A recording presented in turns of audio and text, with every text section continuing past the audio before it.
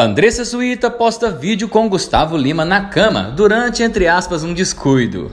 E aí, sertanejados, obrigado pela companhia de vocês. Estou aqui mais uma vez trazendo as novidades e informações do meio sertanejo, com todo carinho e sem enrolação. Só peça seu like no vídeo e se inscreva no canal se não for inscrito ainda, que é muito importante para nós e ajuda a fortalecer o nosso trabalho. É isso aí, meus amores. Vocês que acompanham aqui o canal acabaram notando em um vídeo que eu postei, né, onde a Andressa mostrava os filhos Gabriel e Samuel deitadinhos com ela na cama. Um detalhe passou despercebido e alguns seguidores me alertaram e foi o que gerou um burburinho entre os fãs. Pois é, no momento ali, entre aspas, de descuido, né? Já que está sendo muito raro de acontecer, a Andressa Suíta deixou escapar e mostrou o Gustavo deitado na cama junto com eles. Observem aí no vídeo que eu vou até frisar para vocês o momento.